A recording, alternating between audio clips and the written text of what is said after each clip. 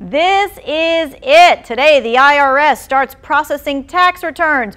Whoa, before you tune out like this, let me tell you about a tax credit that could mean between $500 and $6,000 to you.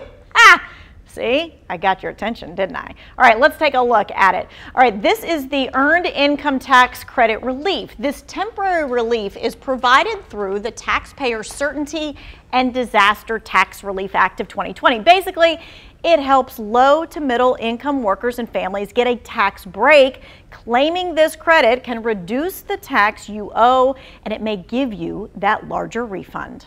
Because of uh, unemployment and uh, people being laid off from their jobs, their earned income credit and child tax credit has been affected.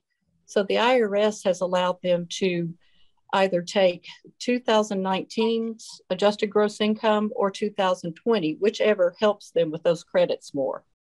Well, the easiest way to see if you can get this credit is use the EITC Assistant. It's right here on the IRS page. I kind of walk you through it here a bit to show you that it's very user-friendly. It asks you a few questions that most of which you'll be able to answer off the top of your head. Then there'll be a few that you need some documents for, like a W-2 or 1099. We have the direct links and information that you need right now in the Two Wants to Know section. Look for Get a Bigger Tax Refund.